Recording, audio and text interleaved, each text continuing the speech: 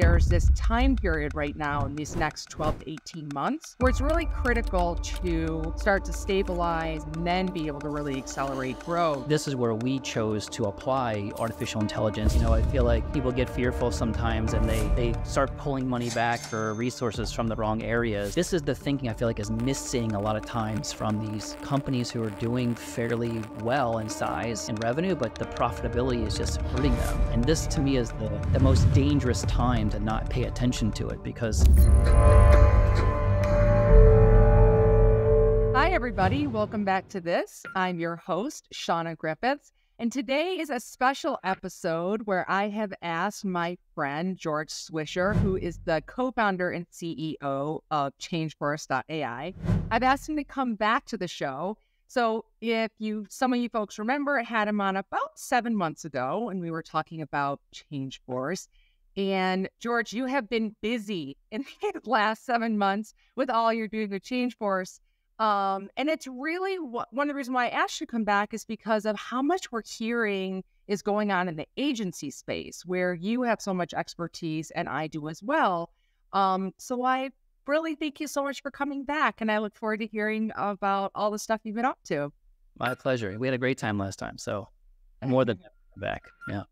Yeah, absolutely. So folks, um, so as you know, as I've shared with you, I've had um, some other of the human consultants on that are paired with the ChangeForce.ai software. Um, and I have been lucky to join the team focusing on agency growth. And so, again, we, George and I, have been hearing so much about the challenges that are um, really prevalent in the agency space, and that there's this time period right now in these next 12 to 18 months where it's really critical to start to stabilize and then be able to really accelerate growth. So, um, would really love to hear from you, George, George, as to what you're seeing, what you're hearing, and and what are some of the things that people in the audience really should be listening for. Yeah, no. Well, I think right now, much like we did, it's time to double down on growth. You know, I feel like people get fearful sometimes and they they start pulling money back or resources from the wrong areas. And, you know, that's a, a lot of uh, unpreparedness is what I think I'm still seeing, which is a bit surprising coming out of the pandemic years. I feel like maybe people got too much PPP money and maybe we're a little bit uh, optimistic on how things were going to go, and now it's starting to shake itself out. And so that seems to be a common theme a- across the board. You know, it's been interesting the last you know seven months. We've really focused on um, introducing our consulting business um, as a way to bring in more strategic dollars. You know, as a software company only, it's a different kind of business. You build something and people either love it or they hate it, and they either buy it or they don't. And with consulting now paired with it, it makes it a bit more effective, and the technology is more an accelerant in the work we're doing. And that was a move that we decided to make as we saw coming into challenging waters that we needed to be able to hedge that a bit and make sure that there's a human element from a subject matter expert using the technology, and especially with artificial intelligence, people are very fearful. I think yeah. generally it's a little bit easier. Oh, make this task for me or something more simple. You know, when you're working in big strategic thinking and you're trying to predict risk and you're, you know, helping people allocate fifty million dollar budgets, it's a very different trust level of using technology. And so, the bet we made was to double down and really invest behind putting some people power behind it, and it's really been paying off. And so, um, to me, that's a good example of where you know, even just professional services as a whole, you know, consulting and agencies run the same way. And and for me, I, am seeing people really make not the best choices. I think they're acting out of fear versus out of opportunity. And I see, you know, when, when the climate gets choppy, that's when the people who don't have the sturdiest ships kind of sink, you know, so that gives you a market share opportunity or things like that. So it's been, it's been interesting. And I spent some time at a bunch of the agency conferences, you know, being in that ad agency world for a while. I think it's, it's always great to get back and hear what's going on and uh, between ad forum and, you know, Cannes and, uh, you know, all the different conferences that take place this time of year or just finishing up was, was insightful. And there was just so much information around AI. Just blew me away of just how much concentration there is um, in that area. And I'm not sure that I think it's the best way to push all the content out there for what people should be thinking about, but there's definitely a value to it, of course. I mean, we're in that field from a technology perspective. But it's been it's been very interesting five months watching what's going on and four to five months with all the conferences and yeah um, I'm I'm excited to see who shakes out of it and who doesn't. I think it's going to be an interesting year. You know, there's definitely been a lot of softening in business and mm-hmm. and and people not sure what's going on, so there's hesitation and right that hesitation is making a lot of people um, fearful. And so right. I'm interested to see after summer kind of what happens as the the normal kind of um, buying season and budgeting starts happening in September, you know, October. I'm curious to see what what really takes place. I think everybody is. No one knows what's going to happen.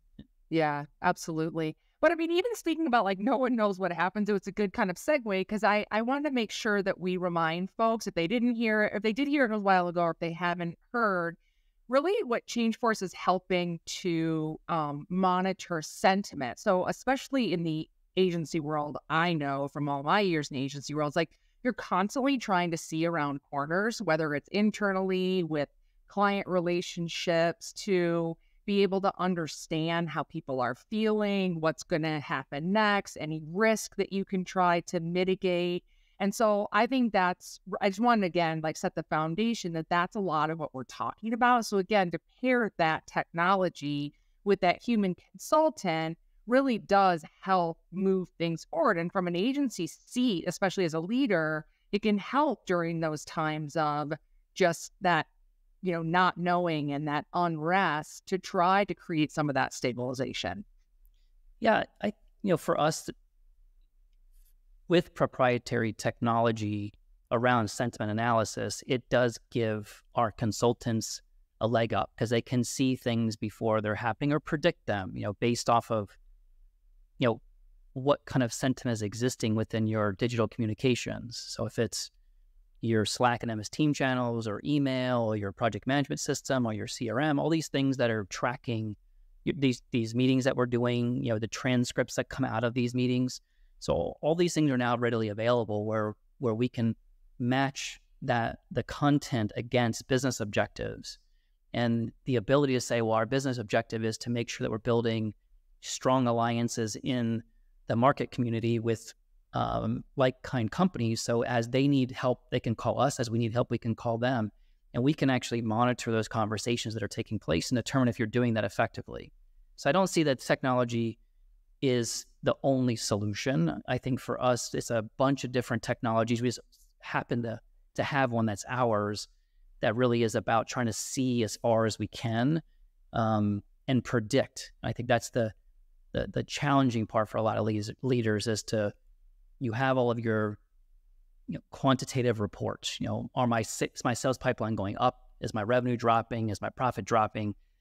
But the why part of it is still very hard to figure out. And so when you're a small company, it's very easy to talk to all your customers, talk to all your suppliers, talk to all your employees, start to figure out where there might be gaps. As you get bigger, it's a lot more difficult. And this is where we chose to apply artificial intelligence to be able to use contextual understanding and natural language processing to interpret what's happening. And if we can map that to the things we're trying to achieve, that at least gives us some indicator to pay attention to, um, as if the snowball is melting from the outside somewhere. We just don't know where. And this will give us a little bit of insight um, on top of all the other um, analysis that you have to do in determining why the business is softening or why you're not growing or why you're not as effective in the delivery of the work for your customer or you're missing deadlines or you can't attract people. All these things are traveling around and you know we are just trying to figure out if we can find some indicators that don't exist right now um, and sentiment to me context and sentiment is just sitting there. The data is there. It's just a matter of interpreting it how can you interpret it in a smart way so that's been a, a, a huge advantage, I feel, for when we launch the consulting business. Um, it's it gives us a leg up against other consulting firms, and mm-hmm. more importantly, even some of the internal responsibilities, because we all know in the advertising world, I mean, you have billable hours, right? See, there aren't a lot of there's not a lot of hours that you can spend trying to figure out some of these things as leaders. You really have to make sure you're servicing your customers. You have to make sure you're winning business. You have to make sure you're managing the team. You have to make sure the quality of work is there. And that takes up 105% of your time. So where are you going to spend the find the time to figure out yeah potentially is coming down the road? I think it's a very reactive industry. And so this mm-hmm.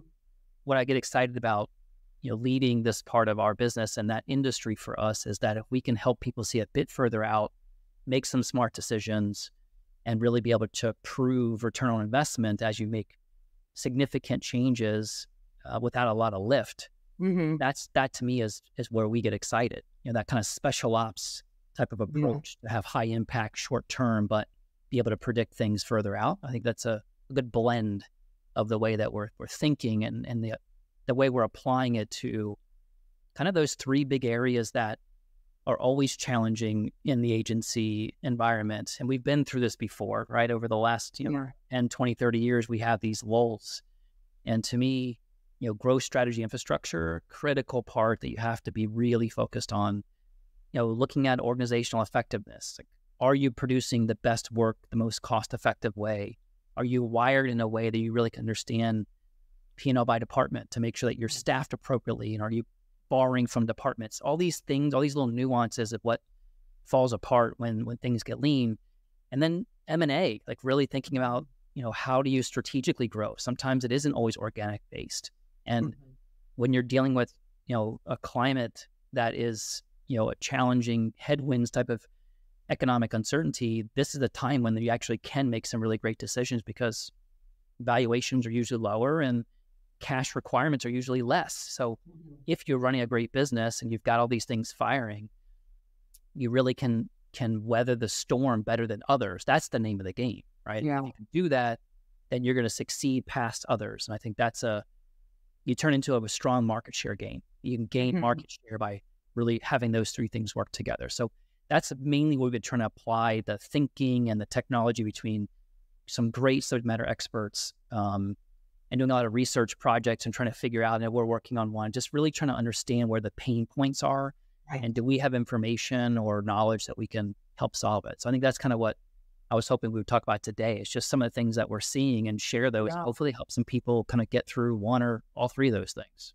Yeah, absolutely. And I'm here to do that too. I think from some of my experiences where you see these agencies in these pain point, like basically the this almost like moment where there's so many pain points coming together and that i think that achilles heel is just to go after oh we just need new sales yep. or it's the opposite of just go after new sales and it's like oh we just need to double down on the existing clients that we already have. And you know as you and i have talked about it's really important to be nurturing those client relationships and continuing to have the ones that you do and you need to, to be taking the steps to gain new clients. But you know, it, but it doesn't just stop there, as you said. It's like the effectiveness of delivery, all of that. It's like this ecosystem. So, what I see a lot of mm-hmm. times is people try to just focus on mm-hmm. one as the holy grail to fix the problem, and it never works.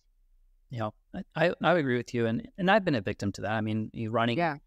some of my own agencies and consulting firms, and you, you believe you just need more at bat. I, I, the amount of times I hear this, I need more meetings. I just need to be in front of more people. Right. And though that's there's a part of that that makes sense, there there's usually as we start to uncover, there's little you know gold nuggets that they're just overlooking. They've kept people on longer than they should mm-hmm. have, you know, so they didn't really streamline their profitability.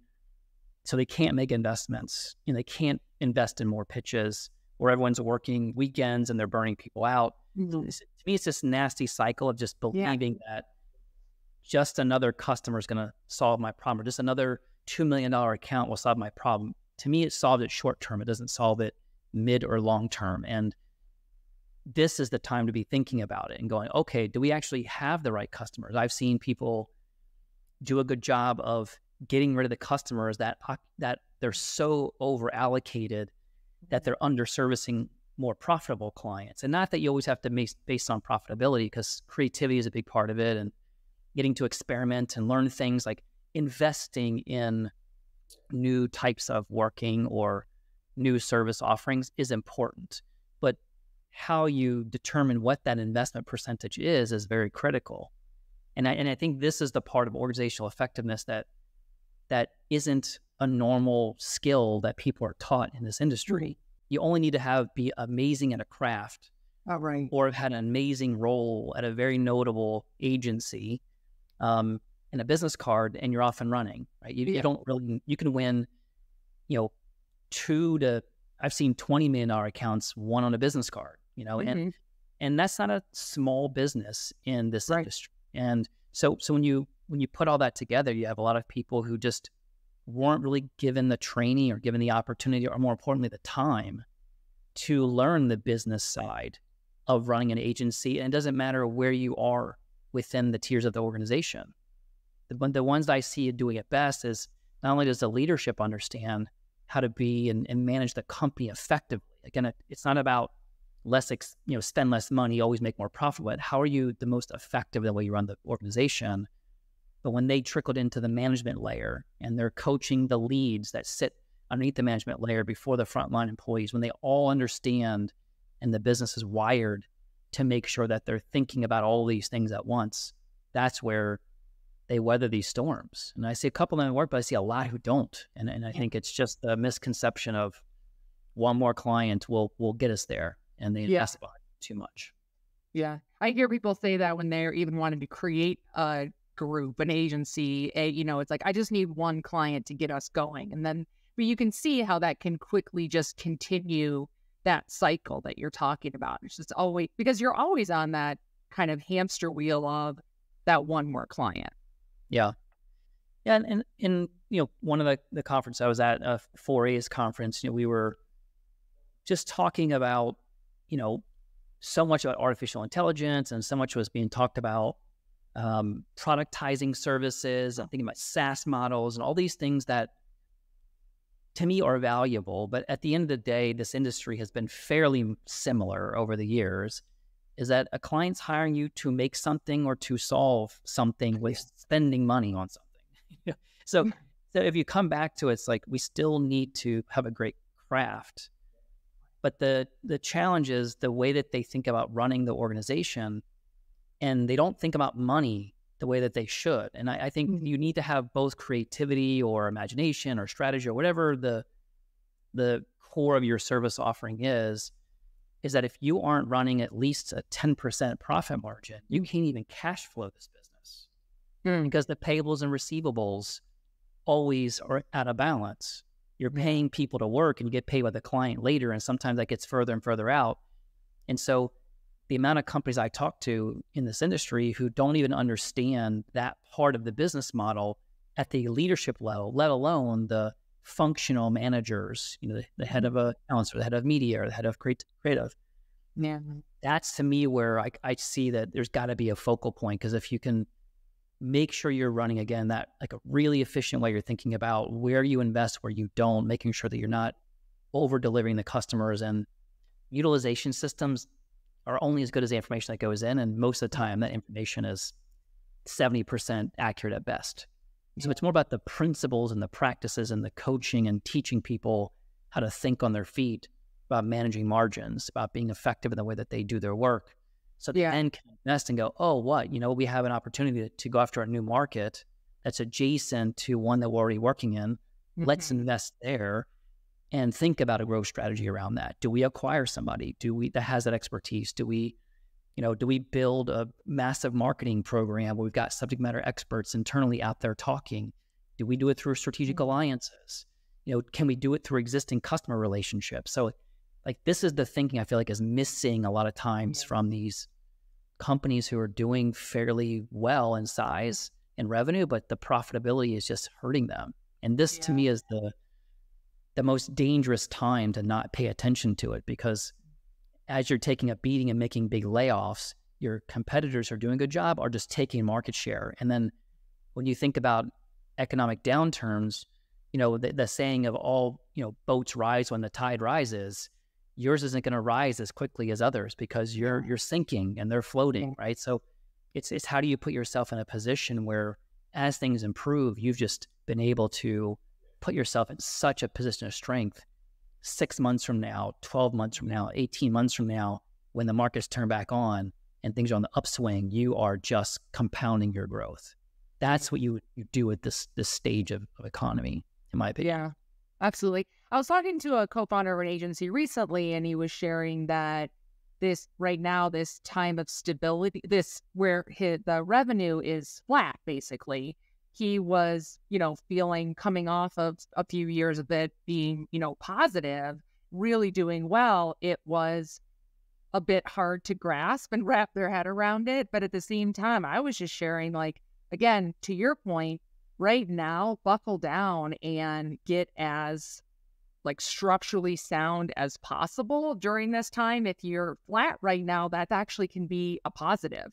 And, you know, like use this time now to actually set yourself up to to hit that wave, like you're saying, and rise faster, better, stronger um, than the others and that are, you know, in this very competitive space. Yeah.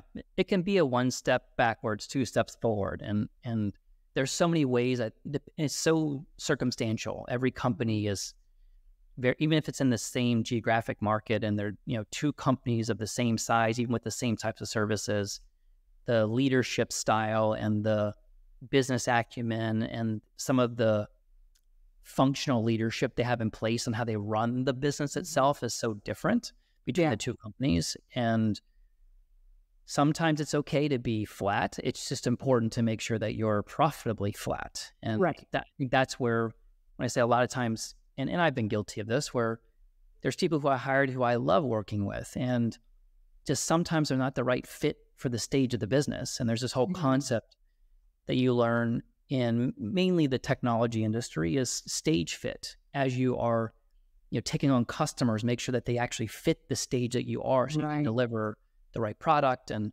you know the people you hire that they need to be a stage fit so even though it might be a mm-hmm. cultural fit or they might be a, a role fit is it a stage fit? Mm-hmm. And this this is a perfect time that you can go through and you know there's a, examples out there which is called like net zero based org design. So thinking about if this is the time you can say if we had to redo this, is this how we would actually structure this company from right. organizational staff perspective? And in and if not, why don't we start to make these moves as long as it's through line to profitability to make sure we're maintaining profitability and we're, st- we're stable let's use this time to kind of change because yeah. as there's an opportunity may come out of it that I wasn't thinking about strategically that gives us additional revenue. Um, mm-hmm. Or you have mm-hmm. things like, you know, thinking about do you have A players and A seats? And it's this concept that mm. a lot of agencies don't realize within the hierarchy of the organization which roles are A roles, B roles, and C roles for sustainable growth of the organization.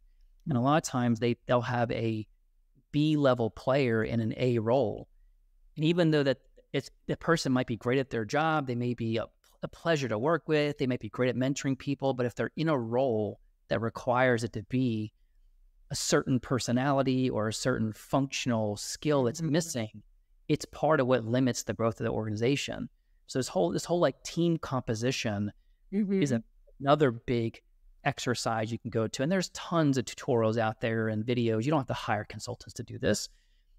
If you don't have the time to do it, you bring in an expert idea that helps you. But, but these are things you can do on your own. It's just thinking about it now, going, all right, instead of us over investing trying to win all new business because we feel like that's going to hedge our bet if we lose some more customers, maybe this is the time to kind of reshift the way that you're running the business and staffed and structurally set up or systems. Like so many companies are really bad at good processes and systems where things run like clockwork. I mean, you and I have talked a lot about kind of the sales operations. Mm-hmm. So even though new customers are always what people want, but just the running and the management of sales, people get so used to inbound or customer referrals. And when that dries up and they don't have other people or other processes that are constantly you know, making sure that they're they're delivering to the customers in a way that again is profitable, but they can cross sell and upsell and really have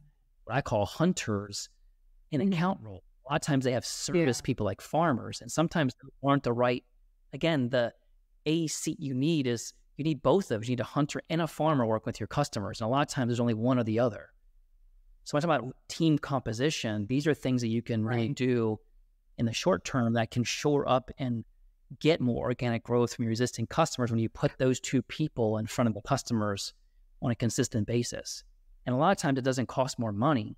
It's just reallocating people's Hmm. time. Because Mm. in this business, we know if you give people 100 hours to do something that takes 10 hours, they'll spend 100 hours.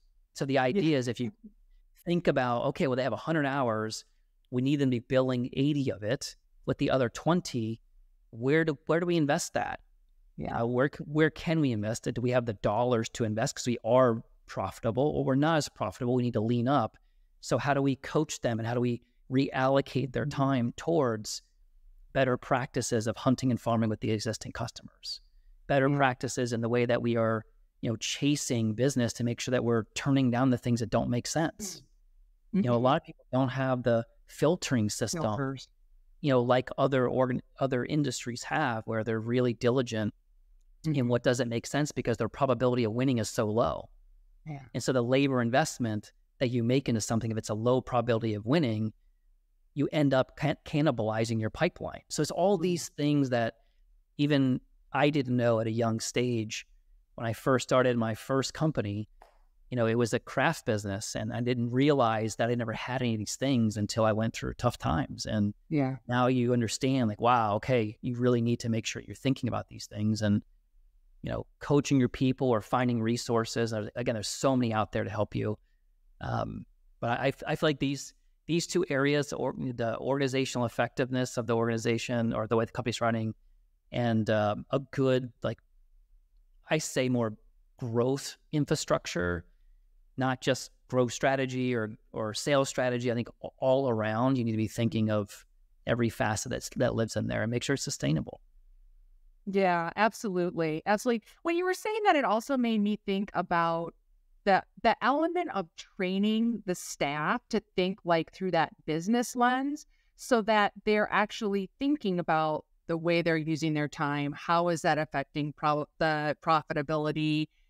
All of those elements, I think, become really, especially if you're talking about account people who are going to be both your if you have someone who's both a hunter and a gatherer, or you know, or you have one who's just a hunter, but really understanding the business element. And I think like you can't start that too young, I think, or too early in people's careers, I should say. I think that the more staff really understand their role within the organization and how it affects the organization, I think that that should come part and parcel with the work that you're actually doing on a daily basis. I would agree. There's a way to, that's I would encourage people to to blend that into the L and D parts of the organization. It's not just Yeah. learning how to use Midjourney or DALL-E to build out storyboards. It's also about understanding that as you're spending time on a project, how can you do it as most efficiently as possible? Because that's the way the company makes money, and that's how it affords you as a job. So the more efficient you are in the way that you can get to an idea or the way you can get to completing something and move on to the next thing makes the company more profitable, more importantly, more sustainable, which then allows you and them to have room for career growth. And so I think even at an earlier age, I wouldn't say, you know, very early stage in the company. Once someone's been in the industry for a good three to five years, this is a great time to start sprinkling in and exposing people to the to a way of thinking like a business person. It, it doesn't matter what role. I mean, I've seen some amazing creative directors who are really good at getting to what needs to be done in a very efficient way, and the the appreciation that the rest of the business feels from that it has made those companies just accelerate. You know, the Yeah. growth of them has outpaced others. So again, I don't want to discredit the service that we provide because I do think creativity and and again kind of strategy and solving marketing problems for clients is really really great work. It's it's just starting now to balance, and this this to me is when you start to realize you should have it before it gets frothy again, right? It's easy if you because if you solve it now, when it gets frothy again, it's going to even be extremely better for you at that point. If you Yeah. can do it when it's bad times as it gets better, and revenue hides a lot of problems. Yeah. A lot of problems. I see a lot of companies that are it'd be you'd be surprised at the the level of revenue they're doing, and running, you know, well below eight, you know, eight to 10% profitability. And they've got the critical mass, but they are just burning everything out. And it's, it's just, you know, they're, they're getting stuck. And so when they lose one client, they're, those are the ones that have to cut substantial amounts of staff because they have to course correct too late yeah. in the game. You know? Mm-hmm. Yeah. So it's more preventative. Yeah. The way I think about it now, it's great to be preventative. You know, start thinking through it now. Yeah. But I think that just as like you just said, it's not about discrediting the services. I think that what can happen is that a lot of times with best intentions, people who can, whether they're a founder of an agency or a leader of an agency, they love the discipline or they love the service. They love working with the clients and solving those problems and being in the trenches and making the magic happen. And then they, there is a lack of time spent on this the pure foundational business elements that you need to make sure are stable, are running for you, are setting everybody up for success. And then, so I think there has to be this conscious decision for how do you fit in figuring these things out? How do you, and to your point, like, there's no time like the present to figure that out because it's only going to get worse, you know, down the line. So, you know, along the way, just as you wouldn't discredit the services side, you also can't discredit and not make time for these elements. And these elements aren't the things that are just for the CFO to worry about or the people person. You know, these are things that all the leaders have to take a vested interest in helping to stabilize and then accelerate. Yeah, I think it's a good point. We, we do a lot of work with emerging leaders. I get to see people who progress, you know, through the years and the ranks and and I could tell you the ones who have a bit more understanding of the business. I, I think there's also a very mm-hmm. misunderstanding that people say, I don't want to learn about the business because I don't care about finances. And we're not, I'm not talking about finances. I'm just talking about how to be effective, as effective as you can the work you do because it makes the company more sta- sustainable, which then helps you, right? And and the ones who, no matter where they are, if they're manager level or director level or you know VP level or an executive you know committee, the, the ones who have a great craft and at least have some base level of the business that you're actually in and apply that to your craft, no matter where you sit across the, the, functional parts of the, of the agency.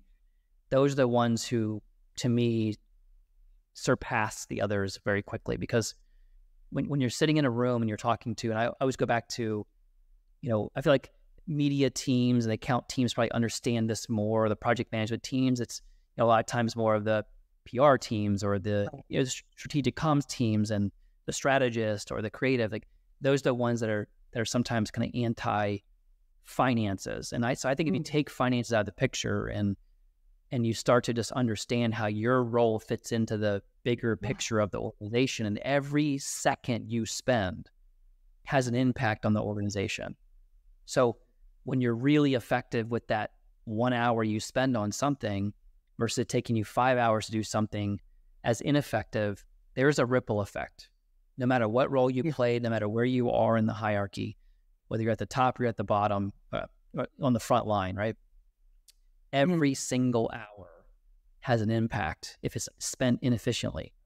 So if you can think yeah. in every day what you're doing, am I wasting time on things that I can't?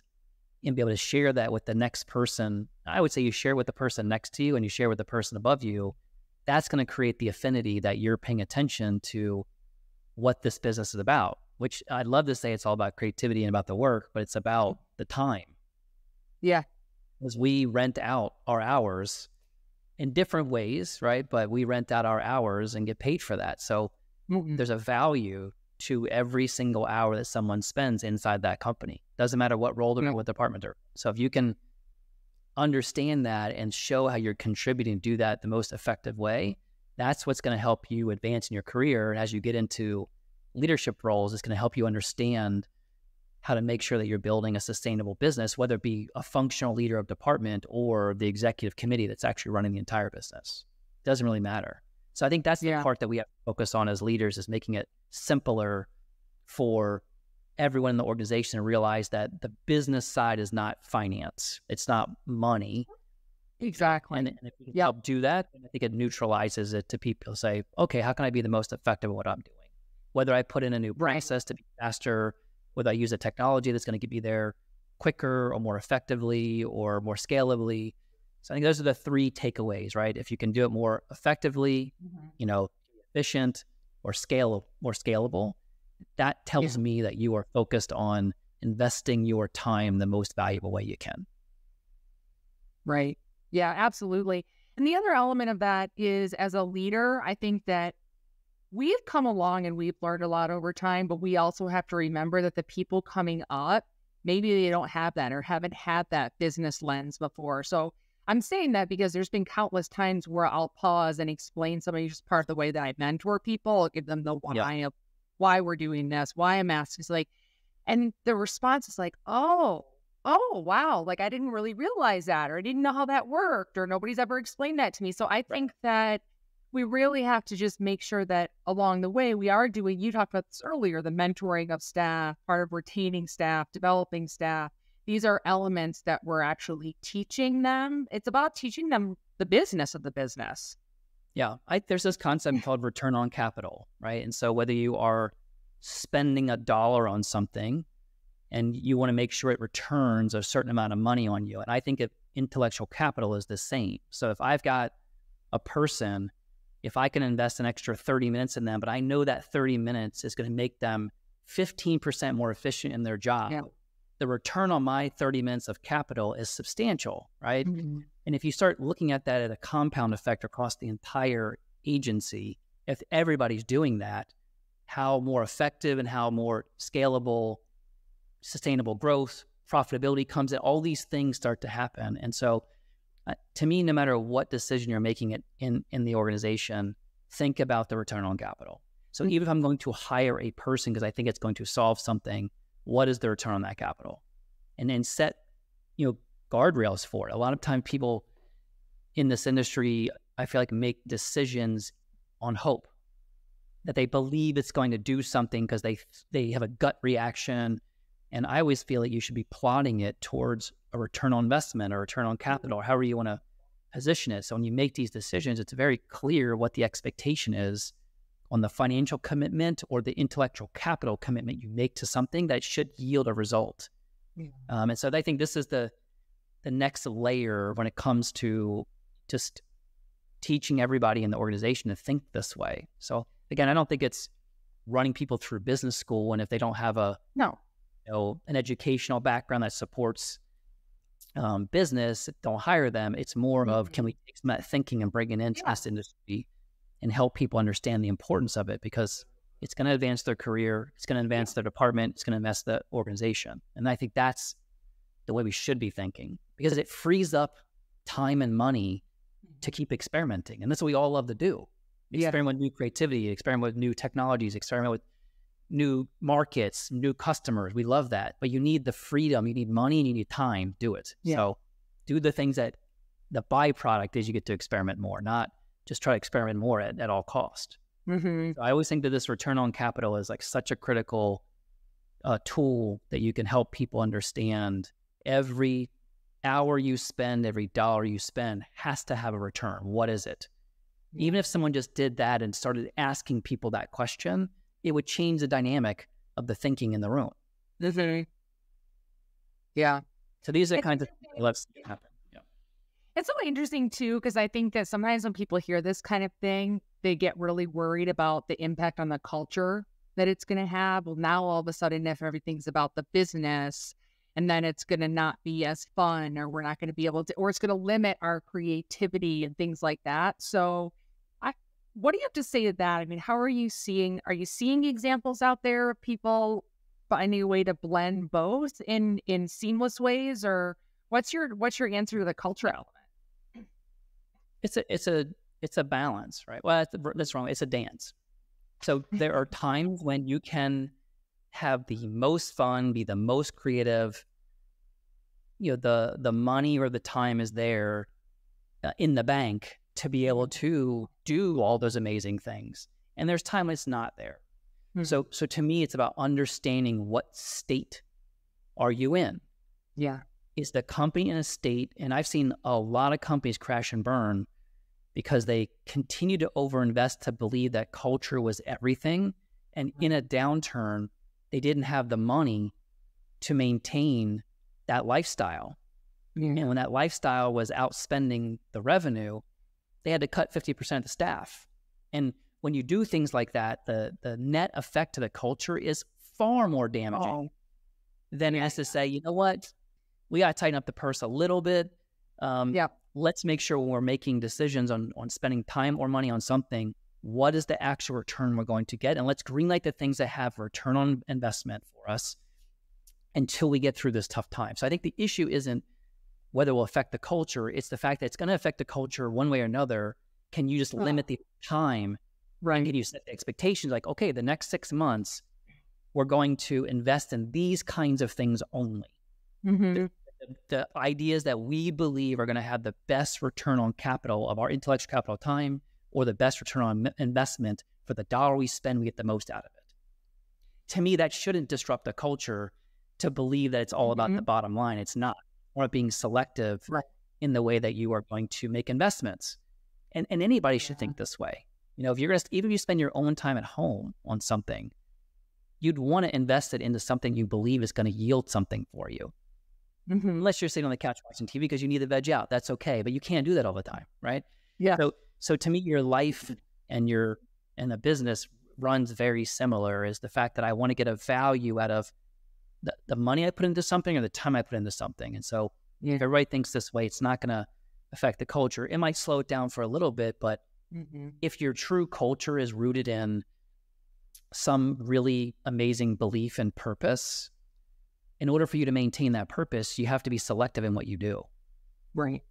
So whether at some point in time you have to be a bit more selective in what you invest in to maintain that purpose and ensure that it carries on for a hundred years, then you got to do it. And it's about Mhm. convincing people how long and what it is. And, and if they can do that, I don't think it affects, I don't see it affect the culture of the people who've done it that way.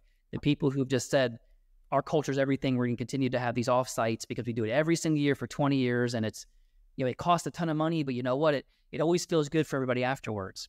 And they do it. And then three months later, they're laying off 25% staff because they overspent. You know, it's like, Yeah. which one was worse? Clearly, to me, the laying off the staff was worse because they didn't predict Yeah. the client was going to go away, or you know, just don't know.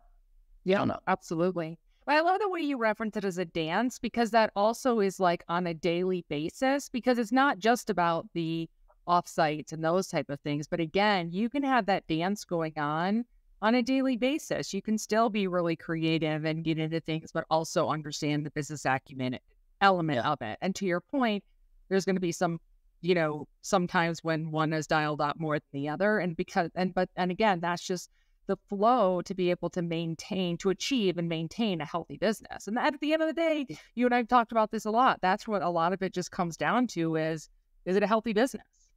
Yeah, and and it's a it is um a bit of a grid. You know, sometimes you know time is only one component. So if you've got within a given day, maybe half your team can be focused on the things that are more cultural affecting Mhm. to the company. You know, you're and, and half the team is completely opposite. They're only doing things that are highly efficient. And, and that blend is what's going to maintain the culture, but also put some rigor in the way that you're not over investing in things. And you know, you can split it up over weeks. One week it's this way. The next week we we kind of green light certain you know projects or certain things that are happening, and this next week we get a little tighter. And over the course of a month, it blends together that you don't compromise either one. That to me is the trick. You can't compromise either one of them, No. but you have this ebb and flow back and forth. Um, and and I, th- I see a lot of this also where, as people get into you know talking about growth again, they think about acquisitions Mm.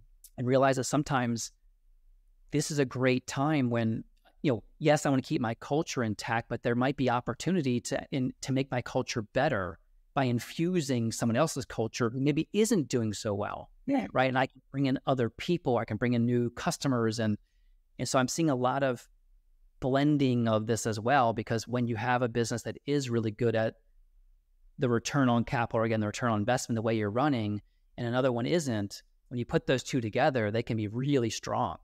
And so I think that this is another big kind of uh, opportunity that I see people really wanting to do but not sure how to do it. And Mm. I think I have this, it's the same kind of uh, thought process. Like the the use of capital is important, human capital or you know monetary capital. Yeah. So you know this this is another I think window of where you can do some creative things and maintain culture, but grow the business in a way that's that's not just a slow grind. You know. So I love the Yeah. the M and A side of things that are also taking place and the use of when I talk capital, the use of dollars and how efficient you can be with those use of dollars when you're running a great business and you've got people, you know, having this dance that's happening to make sure that staying there, it puts you in such a great opportunity to gain market share, Yeah. you gain geography, location, you know, gain new industries, gain new talent you Mhm. don't have.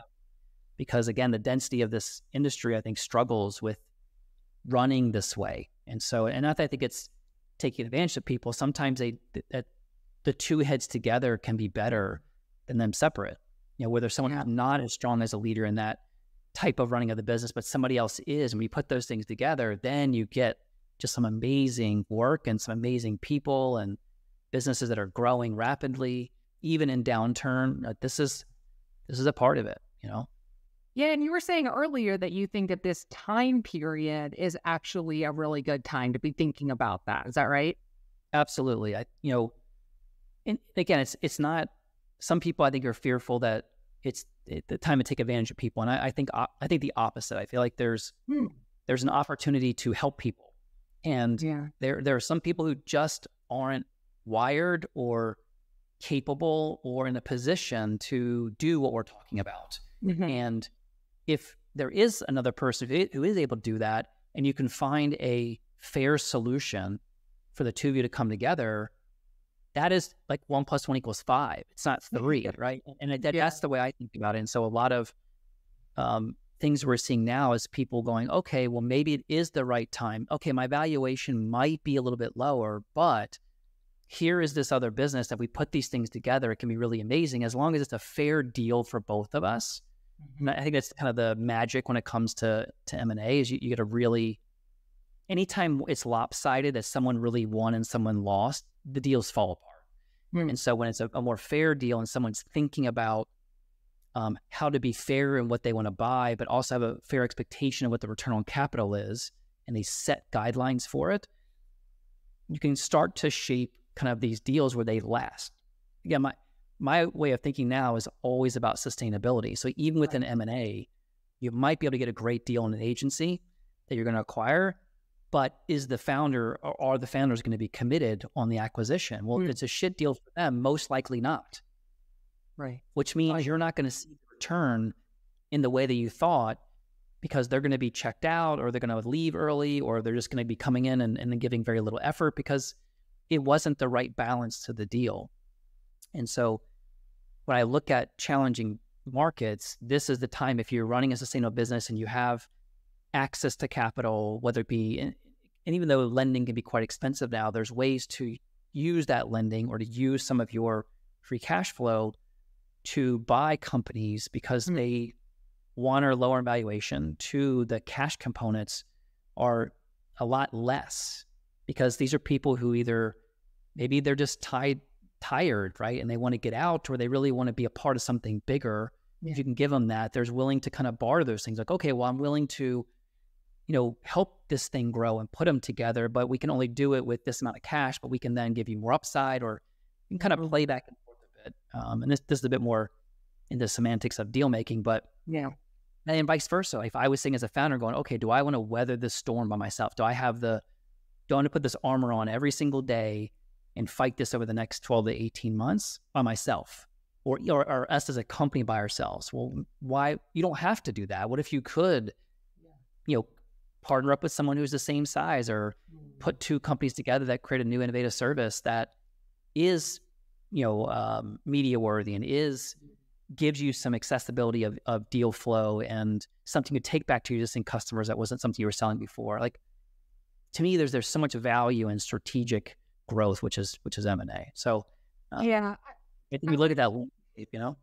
Yeah. Okay. I'd also imagine with the amount of like small shops that have popped up all over the place, that there's not that all small shops that pop all- up all over the place are actually sound business uh, models, But at the, t- at the same time, I've seen so many people who have been in agency seats and big agencies that are like, I'm going to go create my own thing now. I've learned, I've, and so I, I'm just saying, I think there could be more opportunity now to do some of what you're talking about, where it's almost like combining forces um, and creating that sense of efficiency and scale to some degree. Yeah, you know, in my experience, so it's been you know a little over 20 years of being in this industry and watching it. It and that's not forever. It's not a, a ton of time, but you know, even prior, you know, to it, and we talking about 30 years, 40 years, it's it's always been the case mm. that people have left and started. Yeah. And there's always more density of smaller, more nimble boutique, mm-hmm. in a sense that's more boutique approach uh, agencies. And so that to me always exists. Um, uh-huh. You know, when you, when you look at most markets, it always kind of exists. There's a couple big, big players and then this mid market and then kind of the smaller ones. And the, the concept of when things are tough, banding together with like minded people or adjacent services or thinking about a strategic way to band together a few of them makes a lot of sense. Makes a lot of sense yeah. because if if customers are risk adverse and they want to consolidate their budgets into a, a bigger company, mm-hmm. better chance of maintaining those relationships if you're a bigger company. And and sometimes yeah. you have to do that. And so, you know, mergers, you know, aren't as complicated as people think they are. If you have an expert coaching you and walking you through it, it's it's not as complicated to really bring two, three, four smaller companies together mm. to be a powerhouse. Um, yeah, it's just what I see the mistake being made, and and it's no matter who you bring in, it's not about promoting, you know, us, but you need an outside opinion because you you have a daily job which is billable hours, and then every hour you take away from your leadership team to try and solve something like a merger strategy or an acquisition strategy, you're doing a disservice to mm. the function of the business that you have to have. Because again, if we go back to most of them are running inefficiently, yeah, the the risk of taking the time apart from servicing the customers, trying to win, you know, the, the pipeline of customers coming in, managing the people and retaining that talent because they help attract clients. That that in itself is a lift. Yeah. When you insert hmm. something around understanding how to put together a management buyout or try to think about alternative financing so you can merge three companies together. These are highly specialized things that mm-hmm. you want to find somebody from the outside. And depending on your size, you can usually find something that's cost effective to be that outside force to guide yeah. you through it while you keep your eye on the ship. And there's somebody kind of helping you along that way for a short or a long period. And as long as you're spending the money and you know that the return on capital is going to triple 10x itself of what you spend on someone helping you, it's the right move. Yeah. Right. If you go back to return on capital, if I'm going to spend $100,000 for somebody to come in and guide me through merging with a like minded company, and I get to double this company uh, within a matter of 12 months and bring in other talent, bring in other customers, and it's going to yield an extra million dollars of profitability, of course I would spend $100,000. It wouldn't be a question. Because you have economies of scale where you get to have re- remove redundancies when you put two, two companies together. You know, you get to be more efficient in the way that you're consolidating the business. You get to cross sell services to existing customers. So when you put all that together, getting a, a 10x return on the money you spend is not out of reach. And I would invest in that all day long. You tell me you give me a hundred bucks and or I give you a hundred bucks, you give me a million back, I'll give it to you every day. so this this is the idea I think we have to get uh, th- these agency you know leaders to be thinking about is that if we have you know you got your heads down, you have the right infrastructure for growth happening from an organic perspective, you're running a really efficient business. And you're, you're using technologies, you're using people, experts to really be efficient in a way that every dollar spent and every hour spent has the best return it can have, and then you plop on some strategic growth through a merger acquisition, whatever the case is, that that in, those ingredients are where you see the somewhat of a hockey stick growth, um, but not in a way that's you know damaging to culture or right. damaging to profitability or damaging to uh, career paths that people want.